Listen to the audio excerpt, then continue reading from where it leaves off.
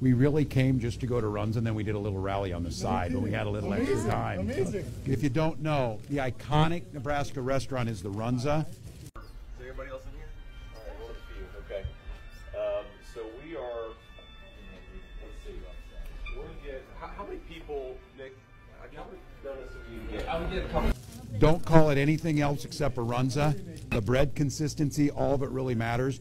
I got the uh, Swiss and mushroom is kind of a classic. The cheese is, is solid. Uh, you can be a little bit creative, but uh, Dozen, sir. A couple dozen. Okay. Um, I'm sorry, man. Okay, yeah. She, she, she, she doesn't want to be on film, guys, so just cut her out of anything. Appreciate that, man.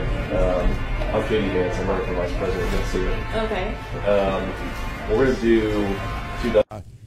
this is it. If you're going to go to Nebraska, if you're going to go to a Nebraska football game, um, if you're just going to be a good person, you stop at Runza. I think it's the bread consistency. I mean, your homemade every day? yeah, get this guy on TV. Okay. Yep. And just a you know random assortment of stuff here. How long you work here? I've been here since uh, the beginning of July Okay. for this year. Okay. Good. How about you, sir?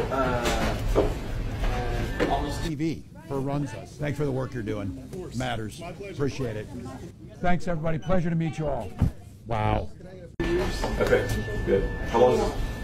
Is Everything. Just everything. Yeah. I mean, a lot of glazed here, some sprinkle stuff, some of these cinnamon rolls, just whatever makes sense.